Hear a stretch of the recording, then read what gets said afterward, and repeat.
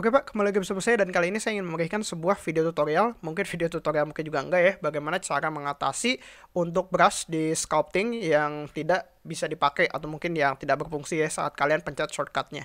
Kalau kalian misalnya uh, ditahan kayak gini gitu ya, di diemin gitu untuk kursornya di brush mana pun, itu nanti akan ada tulisan untuk shortcutnya gitu, misalnya satu atau dua atau tiga gitu. Nah tapi saat kalian pencet tombol shortcutnya satu, dua atau tiga itu nggak jalan gitu, cuman beberapa doang yang jalan. Misalnya untuk saya adalah yang flatten yang di sini untuk yang shifty atau yang smooth atau yang uh, shift S ya itu jalan gitu untuk uh, brushnya. Tapi untuk yang biru-biru ini nggak jalan gitu walaupun ada tulisannya satu. Nah, itu adalah karena uh, kalian belum assign untuk shortcutnya. Jadi tulisannya itu ada satu gitu untuk shortcutnya, tapi sebenarnya shortcutnya itu masih belum diprogram gitu. I, ya masih belum diprogram. Jadi masih belum hardcode lah gitu. Jadi yang satunya ini uh, memang tidak hard coded to blendernya gitu.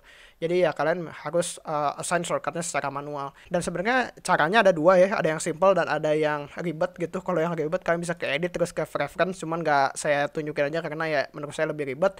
Jadi kalian bisa klik kanan untuk di brush mana pun yang kalian mau pakai draw atau mungkin draw sharp. Kalian bisa klik kanan terus kalian bisa klik yang assign shortcut. Kalau ada tulisan kayak sini kayak saya ini yang change shortcut karena memang saya udah uh, assign untuk shortcutnya gitu. Misalnya di sini kalian klik kanan terus kalian bisa klik yang assign shortcut. Dan dan untuk tombolnya bebas gitu ya, nggak harus uh, sesuai sama blendernya misalnya harus satu gitu, harus dua.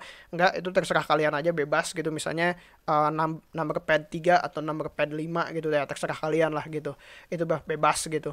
Dan setelah itu kalian bisa langsung pencet untuk tombolnya. Untuk saya udah langsung berganti gitu untuk uh, brushnya tanpa harus pindah-pindah uh, langsung ke bar di sini karena ya lebih lama gitu untuk uh, sculpting ya menurut saya gitu.